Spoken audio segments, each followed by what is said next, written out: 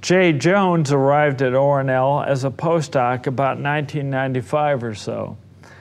Uh, actually, I think Jay um, invited himself to Oak Ridge, but he brought his own funding, so I just got out of his way. Jay did some really outstanding research on CO2 and methane dynamics in streams and rivers. In a study of CO2 dynamics in Walker Branch published in Ecosystems, Jay showed how streamwater CO2 concentrations could be used with the biogeochemistry model to infer catchment scale soil respiration rates. I think this paper is still somewhat underappreciated by terrestrial biogeochemists.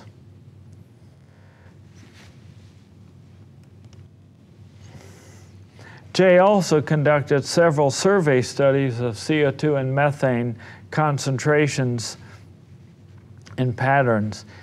In one of these studies, published in Biogeochemistry, Jay showed that CO2 concentrations declined, but methane concentrations increased with increases in stream size throughout the network.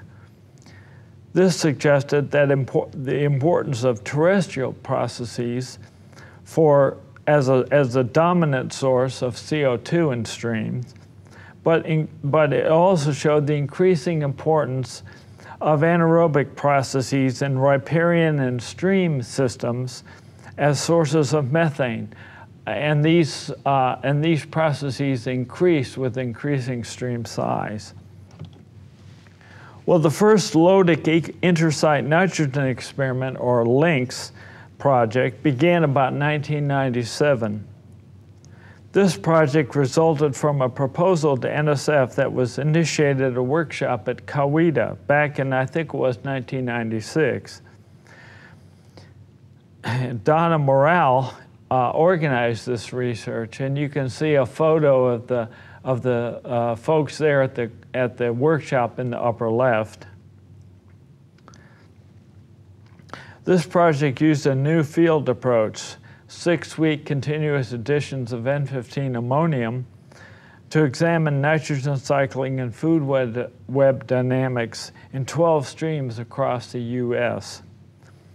Cross-system results were summarized in papers by Bruce Peterson and Jack Webster and showed that in-stream processes could reduce inorganic nitrogen concentrations by two-thirds over a one kilometer reach of stream.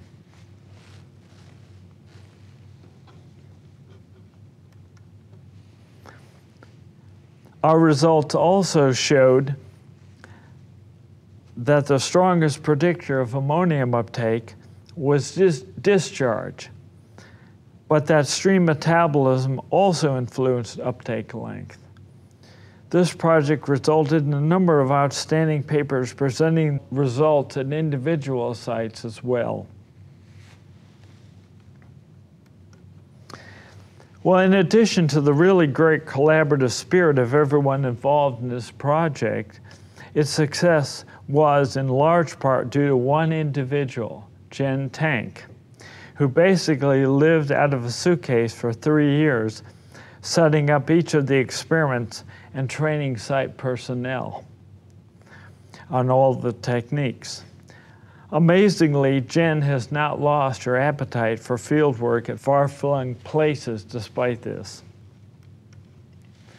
I was fortunate to get involved with Maury Valett, Jack Webster, Steve Thomas, and the rest of the Virginia Tech and New Mexico stream teams in a project with the acronym NPARS, which, to be quite honest with you, I still don't know the, the meaning of.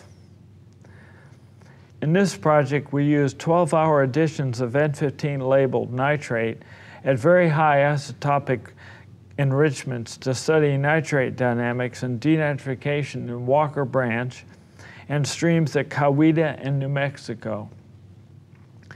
Maury recently published a synthesis of this work showing large seasonal and stream-to-stream -stream variations in nitrate uptake rate and the importance of in-stream metabolism driven by energy inputs on uptake rate. Well, we had so much fun in the first LINX project that we decided to put together a proposal for a second LINX project with many of the same PIs. However, this project was much larger and was focused on stream nitrate dynamics across biomes and land uses. In this study, we used 24-hour N15 nitrate injections to 72 streams encompassing uh, eight different biomes and three land uses in each biome.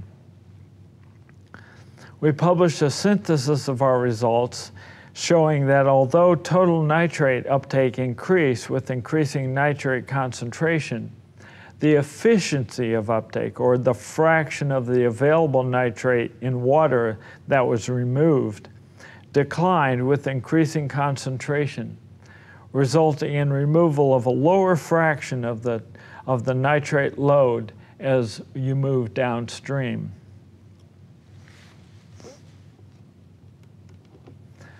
A critical part of this paper was a river network analysis uh, conducted by Ashley Helton and Geoff Poole that showed that as nitrate loading increases, the network becomes less efficient in removing nitrate, and the smaller streams in the network become less important in this removal than the larger streams. I also want to highlight an unsung hero on this project, Steve Hamilton, who solved one of our most vexing problems by developing very clever approaches for sampling and analysis of N15 and nitrogen gas, without which we could have never, uh, we would never have been able to measure denitrification rates. Uh, this uh, apparatus that Steve is using in this photo, however, was not what I was referring to.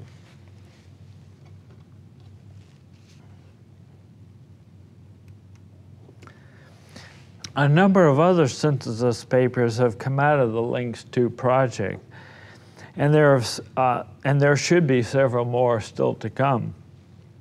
One of these, published in Frontiers in Ecology and the Environment, Ashley Helton showed the importance of, of including ecohydrologic models, multiple elements, and floodplain interactions in river network analyses of nutrient dynamics.